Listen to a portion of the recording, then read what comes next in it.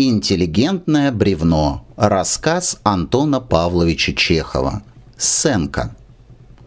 Архип Елисеевич Помоев, отставной корнет, надел очки, нахмурился и прочел. Мировой судья округа, участка приглашает вас и так далее, и так далее в качестве обвиняемого по делу об оскорблении действием крестьянина Григория Власова. Мировой судья П. Шестикрылов. «Это от кого же?» – поднял глаза Помоев на рассыльного. «От господина мирового судьи с Петра Сергеевича с Шестикрылова с». «Угу. От Петра Сергеевича? Зачем же это он меня приглашает?» «Должно на суд. Там написано с...» Помоев прочел еще раз повестку, поглядел с удивлением на рассыльного и пожал плечами. «Пс! Качестве обвиняемого! Забавник этот Петр Сергеевич! Ну ладно, скажи хорошо. Пусть только фриштик получше приготовит. Скажи «буду». Наталье Егоровне и деточкам кланяйся. Помоев расписался и отправился в комнату, где жил брат его жены, поручик Ниткин, приехавший к нему в отпуск. «Посмотри-ка, какую цидулу мне Петька Шестикрылов прислал», сказал он, подавая Ниткину повестку. «К себе в четверг зовет. Поедешь со мной?» «Да он тебя не в гости зовет», — сказал Ниткин, прочитав повестку. «Он вызывает тебя на суд в качестве обвиняемого. Судить тебя будет». «Меня-то?» Пс! Молоко у него на губах еще не обсохло, чтоб меня судить. Мелко плавает. Это он так, в шутку. Вовсе не в шутку. Не понимаешь ты, что ли?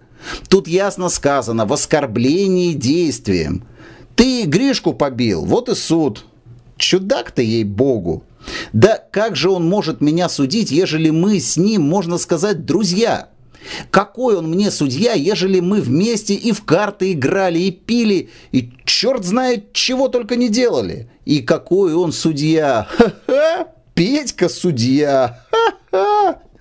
Смейся, смейся. А вот он как засадит тебя не по дружбе, а на основании законов под арест, так не до смеха будет. Ты очумел, брат. Какое тут основание законов, ежели он у меня Ваню крестил? Поедем к нему в четверг, вот и увидишь, какие там законы. А я тебе советовал бы вовсе не ездить, а то и себя, и его в неловкое положение поставишь. Пусть решает заочно. Нет, зачем заочно? Поеду, погляжу, как это он судить будет. Любопытно поглядеть, какой из Петьки судья вышел. Кстати же, давно у него не был. Неловко. В четверг Помоев отправился с Ниткиным к Шестикрылову. Мирового застали они в камере за разбирательством. «Здорово, Петюха!» — сказал Помоев, подходя к судейскому столу и подавая руку. «Судишь помаленьку, крючкотворствуешь. Суди, суди. Я погожу, погляжу. Это рекомендую брат моей жены. Жена здорова?» «Да, здорова. Посидите там, в публике». Пробормотавший это, судья покраснел. Вообще начинающие судьи всегда конфузятся, когда видят в своей камере знакомых. Когда же им приходится судить знакомых, то они делают впечатление людей, проваливающихся от конфуза сквозь землю. Помоев отошел от стола и сел на передней скамье рядом с Ниткиным. «Важности-то сколько у бестии!» – зашептал он на ухо Ниткину. «Не узнаешь! И не улыбнется! В золотой цепи! Фу ты ну ты!» Словно и не он у меня на кухне сонную агашку чернилами разрисовал. Потеха! Да нечто такие люди могут судить. Я тебя спрашиваю, могут такие люди судить? Тут нужен человек, который с чинами, солидный, чтоб, знаешь, страх внушал, то посадили какого-то и на суди. Григорий Власов, вызвал Мировой. Господин Помоев. Помоев улыбнулся и подошел к столу. Из публики вылез малый в поношенном сюртуке с высокой талией, в полосатых брючках, надетых в короткие рыжие голенища и стал рядом с Помоевым. «Господин Помоев», — начал Мировой, потупя глаза, — «вы обвиняетесь в том, что оскорбили действием вашего служащего, вот, Григория Власова. Признаете вы себя виновным?» «Еще бы! Да ты давно таким серьезным стал! Хе-хе!» «Не признаете?» — перебил его судья, ерза от конфуза на стуле. «Власов, расскажите, как было дело». Очень просто-с. Я у них, изволите ли видеть, в лакеях состоял, в рассуждении как бы камельдинер. Известна наша должность каторжная, ваше высокоблагородие. Они сами встают в девятом часу, а ты будь на ногах чуть свет.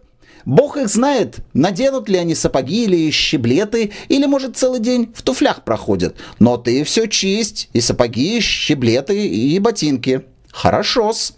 Зовут это они меня утром одеваться. Я, известно, пошел. Надел на них сорочку, надел брючки, сапожки, все как надо. Начал надевать жилет. А вот они и говорят, подай, Гришка, гребенку. Она, говорят, в боковом кармане, в сюртучке. Хорошо-с. Роюсь я это в боковом кармане, а гребенку словно черт слопал. Нету. Рылся, рылся и говорю, да тут нет гребенки, Архип Елисеевич. Он нахмурились, подошли к сюртуку и достали оттуда гребенку, но не из бокового кармана, как велели, а из переднего. А это же что? Не гребенка, говорят? Да тык меня в нос гребенкой. Так всеми зубцами и прошлись по носу. Целый день потом кровь из носу шла. Сами изволите видеть, весь нос распухший. У меня свидетели есть, все видели. Что вы скажете в свое оправдание? Поднял мировой глаза на Помоева. Помоев поглядел вопросительно на судью, потом на Гришку, опять на судью и побагровел. «Как я должен это понимать?» – пробормотал он. «За насмешку?» «Тут никакой над вами насмешки нет», — заметил Гришка. «А вам по чистой совести. Не давайте воли рукам». «Молчи!» — застучал помоев палкой о пол. «Дурак! Шваль!» Мировой быстро снял цепь, выскочил из-за стола и побежал к себе в канцелярию. «Прерываю заседание на пять минут!» — крикнул он по дороге. Помоев пошел за ним. «Послушай», — начал Мировой, всплескивая руками, «скандал ты мне устроить хочешь, что ли?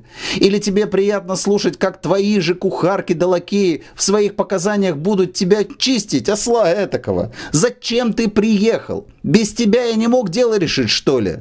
«Я же у него и виноват!» – растопыл руки Помоев. «Сам комедию это устроил и на меня же сердится. Посади этого Гришку под арест и, и все. Гришку под арест. Тьфу!» Каким дураком был ты, таким и остался. Ну как же это можно Гришку под арест? Посади, вот и все. Не меня же сажать. Прежние времена теперь, что ли? Гришку он побил, и Гришку же под арест. Удивительная логика. Да ты имеешь какое-нибудь понятие о теперешнем судопроизводстве? Отродясь, я не судился и судьей не был. А так я понимаю, что явись ко мне с жалобой на тебя этот самый Гришка, я так бы его с лестницы спустил, что и внукам запретил бы жаловаться, а не то, чтобы еще позволять ему замечания свои хамские делать. Скажи просто, что насмеяться хочешь, прыть свое показать, вот и все. Жена, как прочла повестку, да как увидала, что ты всем кухаркам и скотницам повестки прислал, удивилась. Не ожидала она от тебя таких штук. Нельзя так, Петя. Так, друзья, не делают. Но пойми же ты мое положение. И Шестикрылов принялся объяснять Помоеву свое положение. «Ты посиди здесь», — кончил он, — «а я пойду и заочно решу. Ради бога, не выходи. Со своими допотопными понятиями ты такое ляпнешь там, что чего доброго придется протокол составлять». Шестикрылов пошел в камеру и занялся разбирательством. Помоев, сидя в канцелярии за одним из столиков и перечитывая от нечего делать свежеизготовленные исполнительные листы, слышал, как Мировой склонял Гришку к миру. Гришка долго топорщился, но, наконец, согласился, потребовав за обиду 10 рублей. «Ну, слава богу», — сказал Шестикрылов, входя по прочтении приговора в канцелярию. «Спасибо, что дело так кончилось.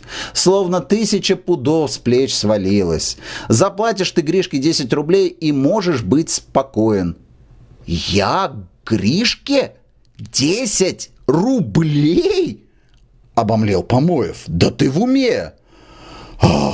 «Ну да ладно, ладно, я за тебя заплачу», — махнул рукой Шестикрылов, поморщившись. «Я и сто рублей готов дать, только чтоб не заводить неудовольствий и не дай бог знакомых судить». Лучше, брать, чем Гришек бить, приезжай всякий раз ко мне и лупи меня. Это в тысячу раз легче. Пойдем, к Наташе есть». Через 10 минут приятели сидели в апартаментах Мирового и завтракали жареными карасями. «Ну, хорошо», — начал Помоев, выпивая третью. «Ты, Гришке, 10 рублей присудил, а насколько же ты его в арестантскую упек?» «Я его не упекал. За что же его?» «Как за что?» — вытаращил глаза Помоев. «А за то, чтоб жалобы не подавал. Не что он смеет на меня жалобы подавать». Мировой и Ниткин принялись объяснять Помоеву, но он не понимал и стоял на своем. «Что не говори, а не годится Петька в судье», — вздохнул он, беседуя с Ниткиным на обратном пути. «Человек он добрый, образованный, услужливый такой, но не годится, не умеет по-настоящему судить. Хоть жалко, а придется его на следующее трехлетие забастовать. Придется». Спасибо, что дослушали до конца. Если запись вам понравилась, пожалуйста, поставьте лайк и подпишитесь на наш канал.